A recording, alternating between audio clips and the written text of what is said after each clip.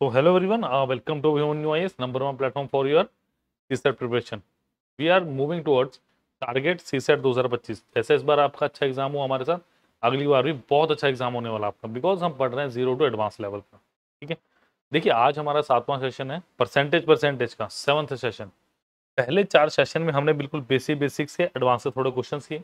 अभी लास्ट के दो से तीन लेक्चर्स में हम क्या कर रहे हैं? पी वाई क्यू हमने कहाँ से शुरू किया स्टूडेंट्स हमने कहा से शुरू किए? हमने 2014 से शुरू किया और 2023 तक दो हज़ार तेईस तक जितने भी परसेंटेज के क्वेश्चन आए हम उन सभी को वन बाय वन डिस्कस कर रहे हैं। ठीक है? तो please do like share subscribe the channel as well as the video और नए बैच की जो हमारी डिटेल है, वो भी जल्दी मैं आपको सारी की सारी चीज़ें बताने वाला और कैसे आप ज्वाइन कर सकते हैं, कहाँ आपने ज्वाइन करना है, वो सारी चीज़ें मैं आपको बताऊँगा। ठीक है? चलिए। चलिए स्टूडेंट देखिए टारगेट सी सेट दो आपके पास एप्टीट्यूड है। आपके पास लॉजिकल रीजनिंग है, आपके पास इंग्लिश कॉम्प्रिहेंशन है। क्लियर है? फ्रेश बैच कमिंग सुन जल्दी आपके पास नया बैच आ रहा है। इसके अंदर क्या एडवांस मोटिवेटेड मेथड से हम पूरा का पूरा सिलेबस करने वाले हैं। ठीक है? जिसके अंदर क्या होगा? जिसके अंदर हम ज़ीरो टू बेसिक्स की तरफ़ बढ़ेंगे। कोई आपको क्वेरी हो ना तो इस नंबर पर कॉल कीजिए। Nine five one triple seven one six five one इस नंबर पे आप कॉल कीजिए व्हाट्सएप कर सकते हैं। और एक व्हाट्सएप ग्रुप का लिंक दिया हुआ है। एक व्हाट्सएप ग्रुप का लिंक दिया हुआ है डिस्क्रिप्शन बॉक्स में। प्लीज़ उसे भी आप ज्वाइन कर लीजिए। क्यों? उसमें ही सारी डिटेल्स आएँगी, उसमें ही सारी मैं बताऊँगा या बताया जाएगा कि कैसे आपका सी का बैच चलेगा। सब कुछ इन्फॉर्मेशन वहीं आएगी और ये सारे के सारे वीडियोस के लिंक भी उसी ग्रुप में आपके पास आ रहे हैं। ठीक है? तो चलिए स्टूडेंट और ये हमारे चंडीगढ़ एंड मोहाली सेंटर की लोकेशन है। आप यहाँ भी विज़िट कर सकते हैं। चलिए, और व्हाट्सएप ग्रुप का लिंक डिस्क्रिप्शन बॉक्स में दिया गया। प्लीज़ अभी के अभी उसे ज्वाइन कर लीजिए, ठीक है? चलिए, मैंने देखो, हर एक सेशन में मैंने एक इंपॉर्टेंट बात बोली है कि ये फ्रैक्शन वैल्यूज़ आपको याद होनी चाहिए। ये सारे के सारे फ्रैक्शन वैल्यूज़ आपको याद होनी चाहिए ए टू जेड मतलब आपको बनानी आनी चाहिए बेसिकली वैल्यूज़ में याद करने तो गलत कह रहा हूँ।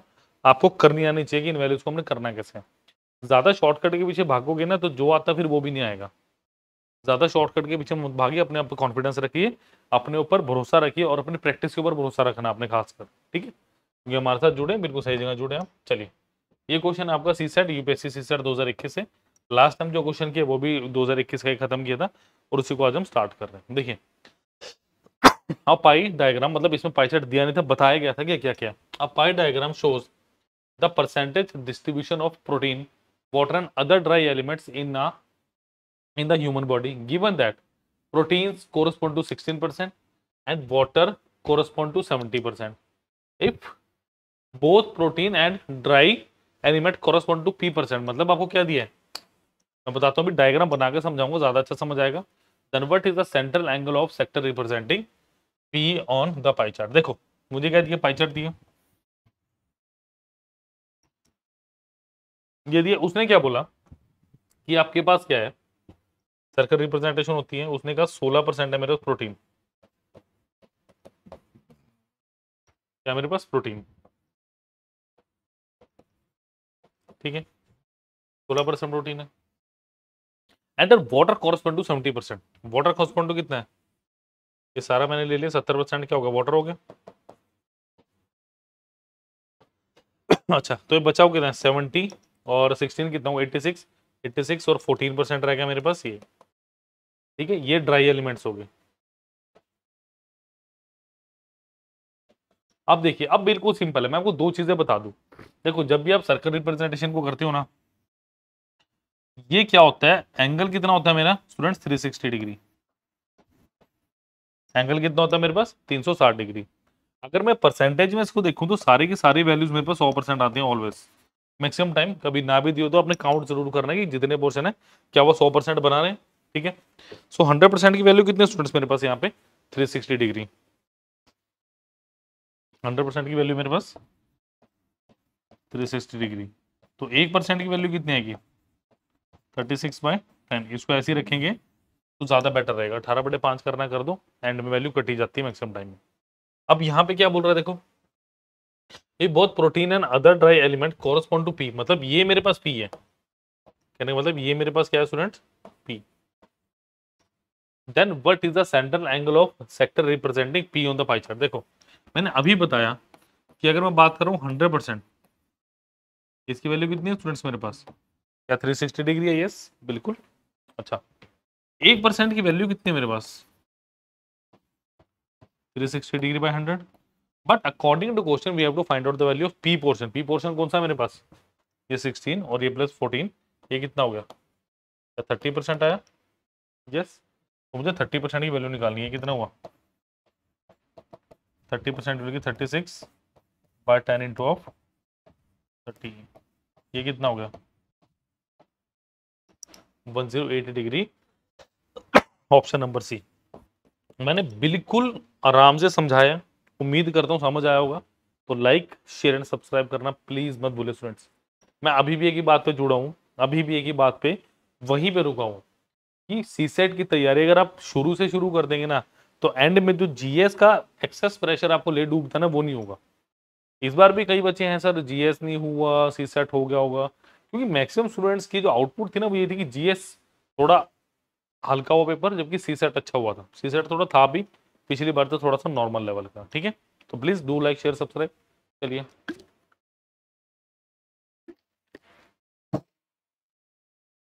चलिए स्टूडेंट अब देखो जरा। ये 2021 का क्वेश्चन है और ऐसे ही क्वेश्चन 2022 में भी आया था। या दो क्वांटिटी का, वो तीन क्वांटिटी के। अब इसको करना कैसे? देखो आप कैसे करते हो, फिर मैं बताऊँगा, मैं कैसे करूँगा। देखो if the price of an article is decrease by 20 percent तो सबसे पहले you must know the value of 20 percent चलो पहले देख लेते आपने बोला पहले, भाई सौ percent let the original price भी आपने हंड्रेड परसेंट मान लिया। पहले वो करके दिखा देता हूँ और मैं फिर ये करके दिखाऊँगा कि जो मैं करवाने वाला वो ज़्यादा इफ़ेक्टिव क्यों है।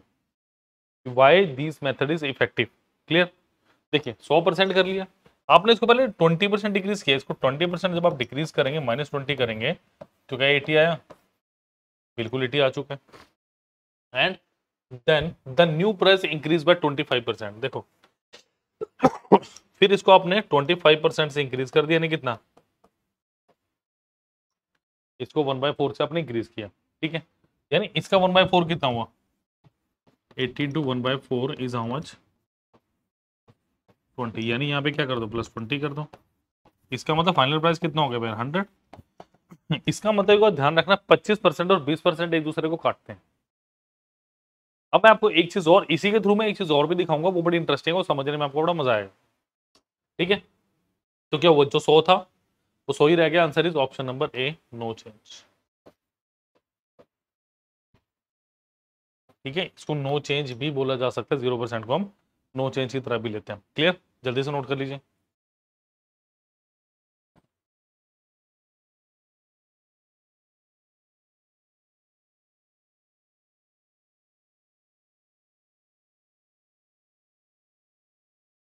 चलिए let us move on to the next ठीक है? देखो, एक स्टूडेंट मार कहाँ पे खाता है? वो क्वेश्चन में कहाँ पे अटकता है? जब ये वैल्यूज़ मेरे पास ऐसे दी हो जब ये वैल्यूज़ मेरे पास ऐसे दी fourteen two by seven percent eleven one by nine percent जब जाके दिक्कत पैदा होती है, अगर मिक्स फ्रैक्शन में दिया हो, तब बड़ी भारी दिक्कत है। अब देखो क्या करना है। सबसे पहले you must know the value of twenty percent कि मेरे पास एक बटे पाँच है, ठीक है? फिर ट्वेंटी फाइव परसेंट एक बटे चार है, ठीक है? अब इंक्रीमेंट डिक्रीमेंट का मैंने आपको बता दिया था पहले सेशन में, कि अगर अगर वैल्यू इंक्रीमेंट हो तो ऊपर वाली वैल्यू को ऐड कर दो डिक्रीमेंट है तो नीचे वाली, ऊपर वाली वैल्यू को माइनस कर दो सिंपल अब मैं ओरिजिनल और अगर फाइनल की बात करता हूँ स्टूडेंट एक नंबर ठीक है? If the price of an article is decrease by twenty percent twenty percent का मतलब वन बाय फाइव पाँच था तो कितना हो गया आपके पास? चार हो गया।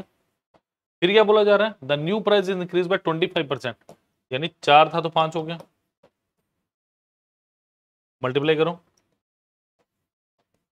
मतलब जो ट्वेंटी प्राइस था, वो ट्वेंटी रह गए आप इसको कैंसिल आउट भी कर सकते हो। आंसर इज़ नो चेंज तो खुद सोचो, ये वाला ज़्यादा इफ़ेक्टिव है कि ये वाला डेफिनेटली इफ़ेक्टिव है? क्योंकि अगले क्वेश्चन में लगा के दिखाने वाला हूँ डायरेक्टली आपको मैं। फर्दर इंफॉर्मेशन के लिए nine five one one six five इस नंबर पर कॉल कीजिए। इस नंबर पे।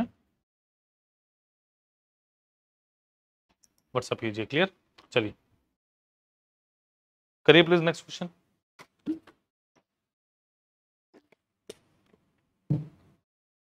almost almost same question है, और इसी हज़ार दो हज़ार बाईस का पिछले वाला क्वेश्चन सी दो हज़ार इक्कीस का था। करिए प्लीज़ ट्राई कर सकते हैं जल्दी से इसको। चलिए student the increase in price of a certain item was 25 percent then the price was decrease by 20 percent and then again increase by 10 percent देखो। सबसे पहली बात 25 परसेंट की वैल्यू कितनी आ गई मेरे पास? वन बाय फोर ठीक है? 20 परसेंट की value one by five again increase by ten percent की वैल्यू वन बाय टेन ये तीन मेरे पास कंफर्म हो गया ठीक है? अब देखिए the increase in the price of certain item of twenty five percent सबसे पहले क्या हुआ? अगर मैं ओरिजिनल और फाइनल की बात करता हूँ पहली पहली स्टेट में, अगर ट्वेंटी फाइव परसेंट का इंक्रीमेंट है तो स्टूडेंट आप क्या बोलेंगे? भाई चार से वैल्यू पाँच होगी। इंक्रीमेंट को तो ऐसे ही बोलोगे आप। अच्छा नेक्स्ट में क्या करें? Decrease by twenty percent decrease by twenty percent का मतलब फाइव बाई फोर एंड अभी आपको बताया था कि ट्वेंटी परसेंट का इंक्रीमेंट पच्चीस परसेंट का डिक्रीमेंट ये एक दूसरे को क्या करेंगे? काटते हैं। ध्यान रखना थोड़ा सा कि पहले अगर पच्चीस का इंक्रीमेंट हो, फिर बीस का डिक्रीमेंट हो तो क्या होगा ठीक है? नेक्स्ट क्या बोल रहे हैं? इंक्रीज बाय टेन परसेंट यानी क्या हुआ?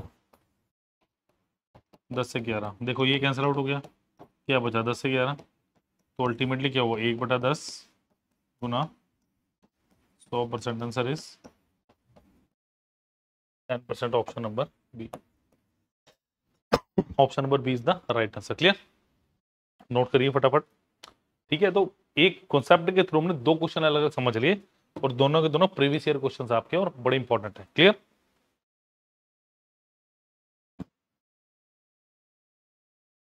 चलिए। चलिए भाई। ये सी सेट 2021 का ही था जाना मुझे लग रहा है क्वेश्चन बाईस का sorry well seventy percent of a number X is added to another number Y the sum becomes 165 percent of the number value Y when sixty percent of the number X is added to another number Z then the sum become 165 percent of the value of Z which of the following is correct बताइए। Easy है, बहुत easy है। बहुत ही बहुत ही बहुत ही easy है question ये।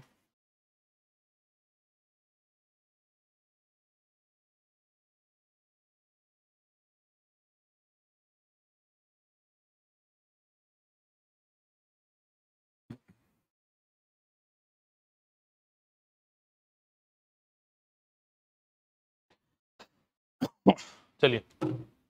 देखो, दो नंबर एक्स एंड वाई वो क्या कह रहा है? Seventy percent of number X added to another number Y मतलब seventy percent of X added to another number Y then it becomes one sixty five percent of Y यानी one sixty five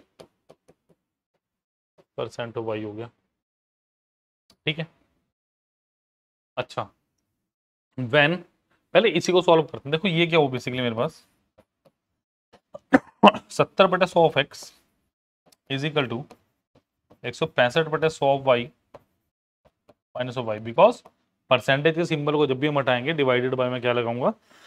hundred ठीक है students seventy by hundred of X is equal to one sixty Y minus hundred Y upon hundred अब देखिए, सौ से सौ cancel out तो कितना बचा मेरे पास? Seventy s is equal to sixty five by यानी एक्सपर्टे वाई कितना आ गया मेरे पास? पैंसठ बटे सत्तर यानी कितना? Thirteen by fourteen thirteen by fourteen आया? कि एक्स अगर मेरा तेरह है तो वाई चौदह। तो वाई किसमें ग्रेटर है? वाई एक यहाँ ग्रेटर है, एक में ग्रेटर लग रहा है वाई तो। देखो एक्स यहाँ पे ग्रेटर है कैंसिल आउट हो गया। तो आंसर मेरा यही आना चाहिए। बट यहाँ पे भी जेड पे डिपेंड करेगा, ठीक है?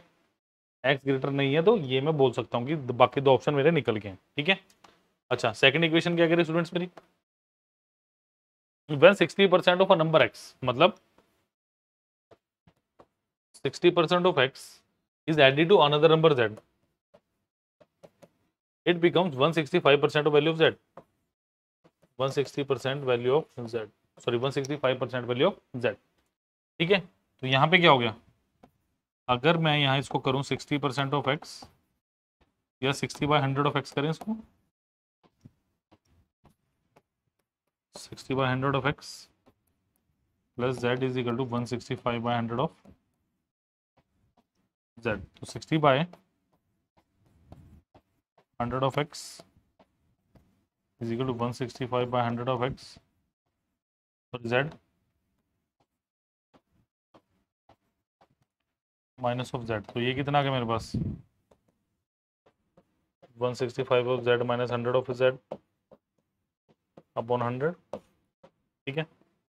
होपफुली आपने नोट कर लिया होगा, मैं मिटा देता हूँ उसको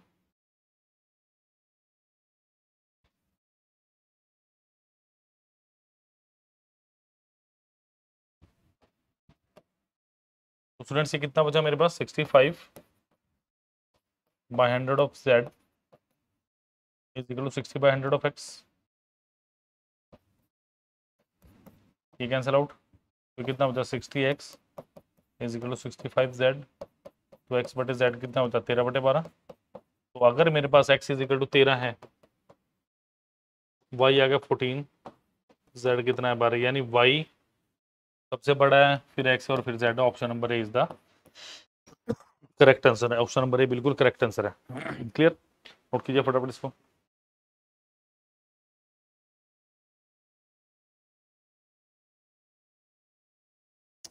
ठीक है, अब चलेंगे हम 2023 में जो क्वेश्चंस आए हैं उनकी तरफ़। अब मैं मूव कर रहा हूँ स्टूडेंट्स उन क्वेश्चन की तरफ़ जो 2023 में आए मेरे। ठीक है, ये पहला क्वेश्चन और ये क्वेश्चन मैंने क्लास में भी करवाया था नोट्स में भी है बच्चों के पास ये क्वेश्चन मैंने सिर्फ़ ये करवाया था number is multiplied by divided by four की जगह सिर्फ़ फाइव था। ठीक है, बहुत ईजी क्वेश्चन था, कोई ज़्यादा इसमें कुछ था नहीं, छेड़खानी वाला। चलिए a number is mistake divided by four आपने अभी तक सोल्यूशन देख लिया, नहीं देखा तो प्लेलिस्ट में जाकर आप सोल्यूशन भी देख सकते हैं, ठीक है? Number is mistakenly divided by four instead of multiply by four देखो, इस क्वेश्चन की सबसे खास बात पता क्या थी? You don't even need the number आपको नंबर भी नहीं चाहिए। आपको इस क्वेश्चन के लिए नंबर भी नहीं चाहिए। आपने माना लेट मैं बताता हूँ क्यों। लेट द नंबर भी मैंने पी मान लिया। Let the number be p अब क्या बोला जा रहा है? Number is mistakenly divided by four instead of multiply by four इसका मतलब एक मेरे पास ओरिजिनल नंबर था। एक मेरे पास क्या था मेरा? फाइनल नंबर एक मेरे पास था ओरिजिनल नंबर एक मेरे पास था फाइनल नंबर ठीक है? देखिए number is mistakenly divided by four इसका मतलब सबसे पहले आपने क्या करना था? जो नंबर पी था, उसको चार से डिवाइड करना था। बट बेसिकली आपने कर क्या दिया? इस नंबर को चार से डिवाइड कर दिया। मल्टीप्लाई करना कर दिया डिवाइड दोबारा सुनो, बच्चे गलती कहाँ कर रहे हैं? वो उल्टा लिख रहे हैं इसको। वो उल्टा कर रहे हैं इंटरचेंज वो इस नंबर को इधर लिखते इस नंबर को इधर लिखते इसीलिए आंसर गलत आ रहा है। मुझे दो तीन बच्चों ने बताया कि, सर, ये ऐसे करना है क्या? फिर मैंने बताया, नहीं। आपने हमेशा क्या करना है? जो आपके पास एक्चुअल एक्चुअल नंबर आना चाहिए, वो पहले लिखना। जब भी तो स्टूडेंट्स हम कंपेयर कर पाएँगे। अब देखो पी से पी कैंसिल आउट हो रहा है। तो मुझे नंबर चाहिए ही नहीं। कुछ भी मान लेते आपका आंसर आ जाना था, यानी चार था। एक बटे चार हो गया जो सोलह नंबर था वो कितना बचा? एक। एक्चुअली नंबर था सोलह। आफ्टर ये जो गड़बड़ी, उसके बाद एक रह गया। तो कितने का डिक्रीमेंट आया?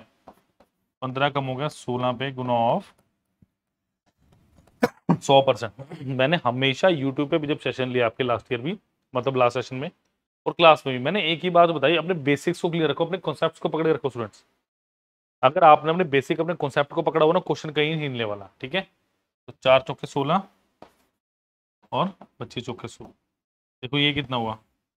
Six point two five into fifteen पंद्रह चिकन नब्बे नब्बे प्लस पंद्रह बटे चार।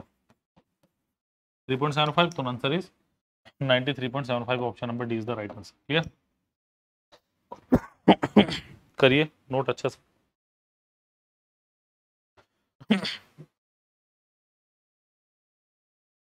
चले सुनो नेक्स्ट क्वेश्चन पढ़ रहा हूँ मैं।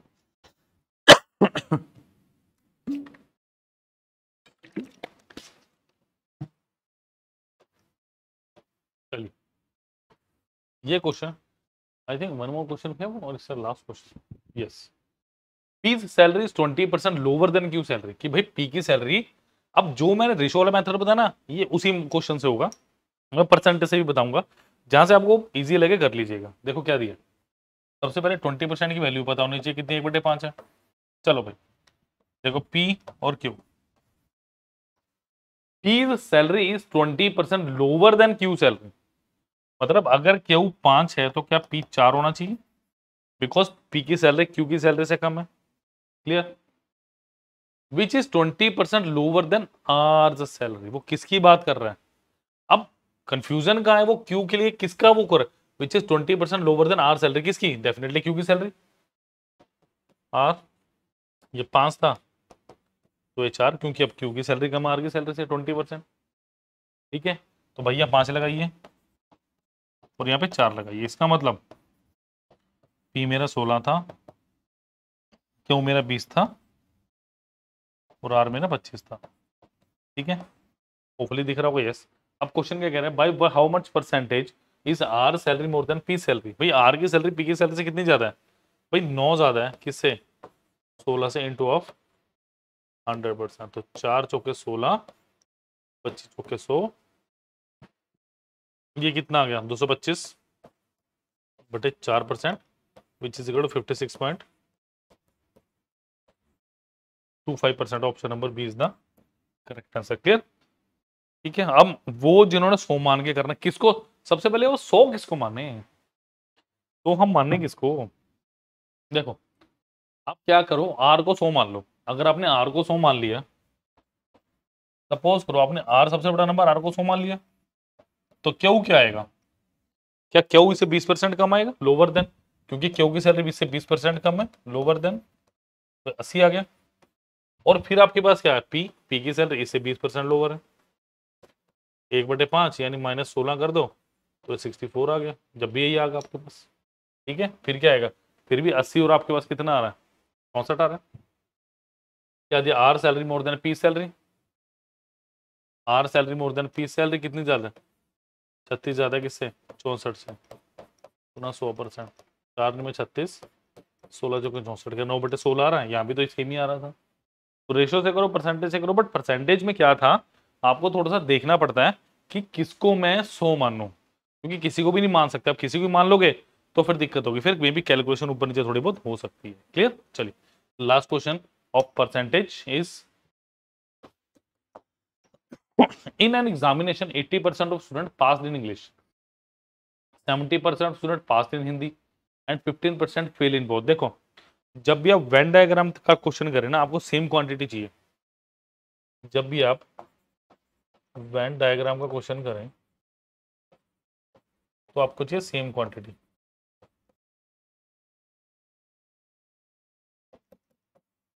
ठीक है, आपको क्या चाहिए स्टूडेंट्स सेम क्वांटिटी चाहिए। अच्छा इन एन एग्ज़ाम से eighty percent student pass in English अच्छा अगर मैं बात करूँ फेल इन इंग्लिश अगर 80 परसेंट पास है तो 100 में से 80 माइनस करो। क्या फेल इन इंग्लिश कितने होंगे आपके पास? 20 परसेंट होगी। फेल इन इंग्लिश हमारे पास 20 परसेंट होंगे बिल्कुल। अच्छा 70 परसेंट पास इन हिंदी तो फेल इन हिंदी कितने होंगे हमारे पास? 100 परसेंट माइनस ऑफ़ सत्तर परसेंट यानी फेल इन हिंदी कितना होगा मेरे पास?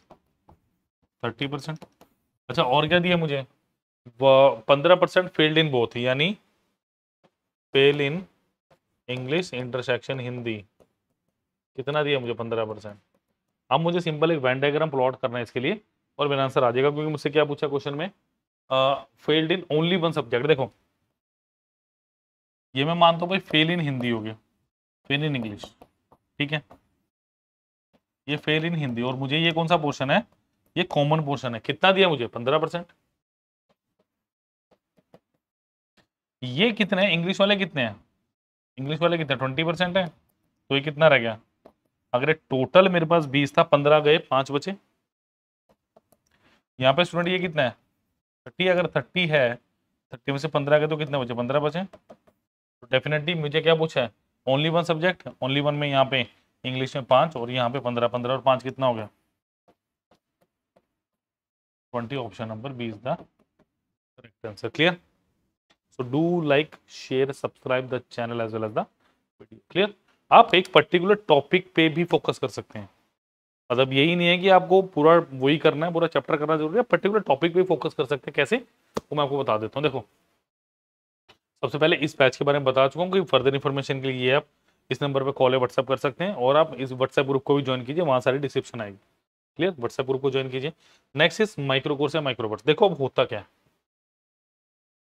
कई बार क्या होता है? मुझे सिर्फ़ एक पर्टिकुलर टॉपिक में प्रॉब्लम है। मुझे एक पर्टिकुलर टॉपिक में प्रॉब्लम है, मैं जाऊँगा यहाँ पे, मैं जाऊँगा सिविल सर्विसेज़ सी सेट ठीक है? ठीक है? छोटे कोर्सेस